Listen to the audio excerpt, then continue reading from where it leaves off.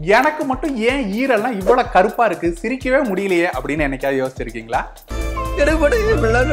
ஈறுகள் இது போல கருப்பா இருக்கிறத நாங்க ஜிஞ்சைவல் பிக்மெண்டேஷன் அப்படின்னு சொல்லுவோம். நம்மளுடைய தோலோட நிறம் கருமையா இருக்கணுமா? இல்ல வெளிர் நிறமா இருக்கணுமாங்கிறத எப்படி மெலனின் அப்படிங்கிற பிக்மெண்டேஷன் முடிவு செய்தோ அதே போலதாங்க ஈறுகள் நமக்கு பிங்கா இருக்கணுமா?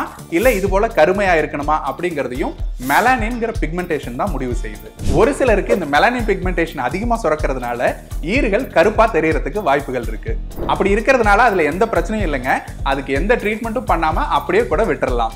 ஆனால் சிரிக்க முடியாத அளவுக்கு என்னோட கான்ஃபிடன்ஸ் அதை குறைக்குது அப்படின்னு நீங்கள் நினச்சிங்கன்னா மட்டும் இதுக்கு ஜிஞ்சைவல் டீப் பிக்மெண்டேஷன் அப்படின்னு ஒரு ட்ரீட்மெண்ட் இருக்கு.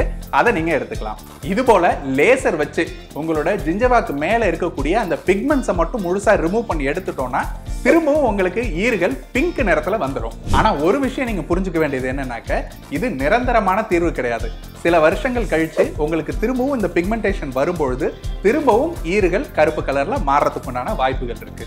இந்த தகவலை உங்களோட ஃப்ரெண்ட்ஸ் எல்லாருக்கும் ஷேர் பண்ணுங்க.